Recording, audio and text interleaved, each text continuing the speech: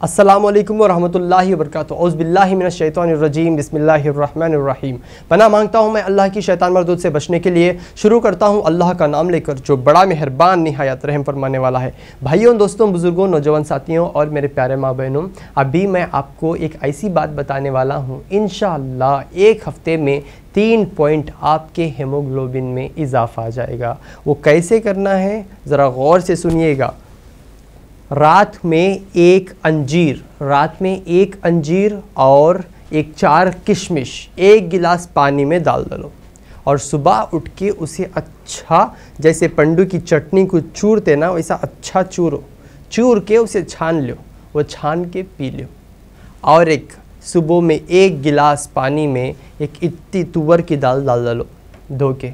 एक गिलास पानी में एक इतनी और रात तक वैसा रखो, रात को उसे अच्छा उबलाओ। उसे उबलाने के बाद एक कप वुत्ता बना लो और वो इस्तेमाल करो। इन अगर आप ऐसा करेंगे तो एक हफ़्ते में आपका हेमोग्लोबिन बढ़ जाता। और जो भी कैंसर के पेशेंट्स हैं और जो भी थायराइड के पेशेंट्स हैं, जिसे भी खून की कमी है, जिस समय बहुत कमज़ोरी फील कर रही हैं, अगर ये फार्मूला आप घर बैठे इन अप्लाई करेंगे तो आपको बहुत ज़बरदस्त रिज़ल्ट आएगा। असलकम वरहमल वर्क